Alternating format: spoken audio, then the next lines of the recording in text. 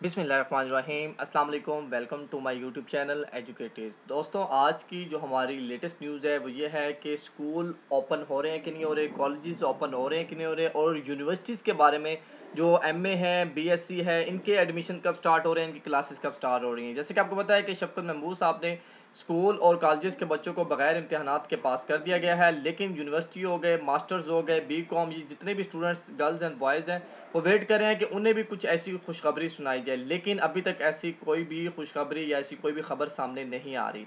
तो आज की जो हमारी लेटेस्ट अपडेट है, वो ये है कि ग्यारहवीं की जो है रजिस्ट्रेशन स्टार्ट होने जा रही है। यारवीं की क्लासेस स्टार्ट होने जा रही हैं बीएस ऑनर्स की क्लासेस स्टार्ट होने जा रही हैं। उसकी मुकम्मल तफसीलात हम आपके साथ शेयर करने जा रहे हैं। इसके अलावा हम और भी आपके साथ जो है वो यूनिवर्सिटीज़ एडमिशन जॉब्स के रिलेटेड इन्फॉर्मेशन और मल्टीपल न्यूज़ जो है वो शेयर करते रहते हैं।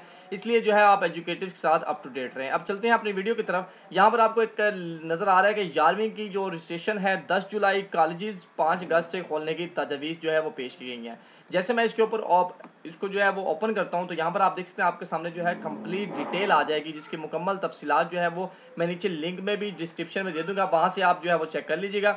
बाकी यहाँ पर आप देख सकते हैं कि ग्यारहवीं की जो रजिस्ट्रेशन है वो दस जुलाई कॉलेज पाँच अगस्त से खोलने की तजवीज़ जो है वो दी गई हैं, ठीक है? उसके बाद पाँच अगस्त बी एस ऑनर्स पंद्रह के बाद मास्टर्स और पच्चीस अगस्त से बारहवीं की क्लासेस लगाई जाएँगी। महकमे को जो है वो तजवीज़ मसूल हो चुकी हैं। लाहौर, पंजाब के जो है वो कॉलेज़ खोलने और दाखिलों के लिए तजवीज़ तैयार कर ली गई हैं, क्योंकि ये इस वक्त जो है वो बच्चों का एडमिशन जो है वो स्केजुअल होता है, लेकिन काफ़ी चीज़ें जो है वो डिस्टर्ब हो चुकी हैं।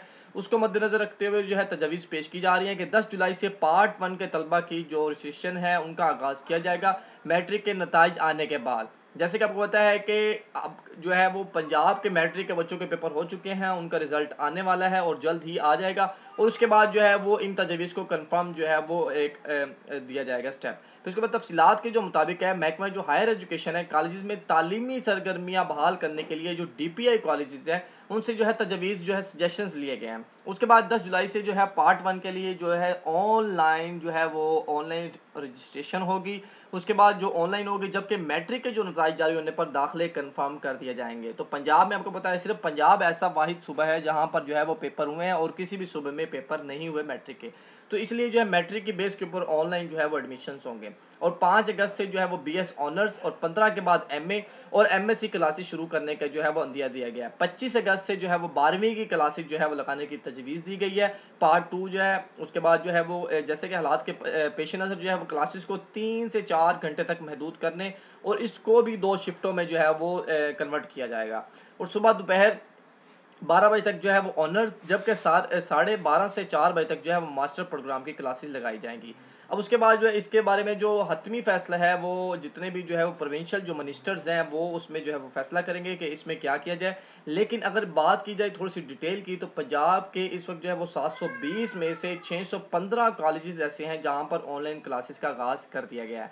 लेकिन आपको पता है कि क्लासेस का जो है, वो बाकायदा उसमें कुछ भी ऐसी परफॉर्मेंस अच्छी नहीं है। काफ़ी ज़्यादा डिस्टर्बेंस है, बच्चों को जो है, वो ई लर्निंग जो है, वो अच्छे से नहीं सिखाई जा रही, एक अच्छा सेटअप नहीं है। तो देखते हैं क्या हालात होते हैं, किस किस तरह की जो है वो हालात किस तरफ़ जाते हैं। तो ये थी आज की हमारी एक लेटेस्ट अपडेट जो हमने आपके साथ शेयर करना मुनासिब समझा। तो ये आज की डेट थी, आज की अपडेट थी। इस तरह की और भी लेटेस्ट अपडेट्स के लिए आप एजुकेटेड को सब्सक्राइब कर लें बेल नोटिफिकेशन आइकन के ऊपर क्लिक करना ना भूलिएगा, ताकि आपको लेटेस्ट जो है वो इन्फॉर्मेशन मिलते रहे। मिलते हैं एक नई वीडियो के साथ, नई अपडेट के साथ, नई जॉब के साथ। तब तक के लिए मुझे जा दें। अल्लाह हाफिज़।